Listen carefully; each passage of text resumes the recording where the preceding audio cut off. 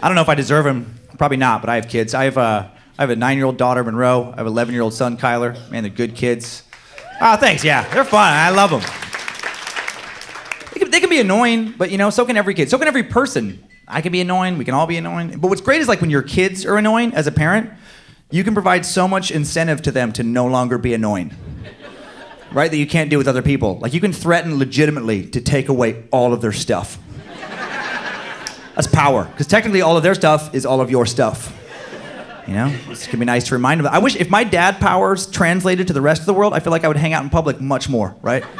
That'd be so great if like some dude's acting like an idiot at a bar, you know, just whistling at the bartender, snapping his fingers, you know, just like, hey, hey, dude, she's not a dog, that's a human being. Knock that shit off. Hey, you don't talk to me that way. Do you want me to take your phone? Is that what you want? You want me to take it?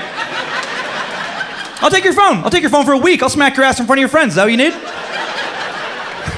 No, I'm good. I'm sorry. I was, okay, I apologize.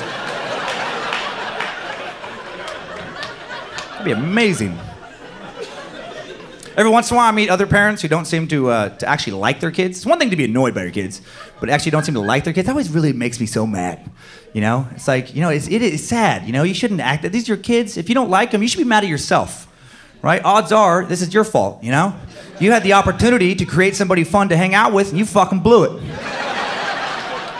These people instinctively love you at birth, you know? They, they want you to be proud of them. You can legally discipline them when they act in ways you don't approve of. And if they don't like your discipline and they run away, the police, free of charge, will find and return them to your home for more shaping and crafting and molding. It's like you're the head baker in an artesian kid cafe.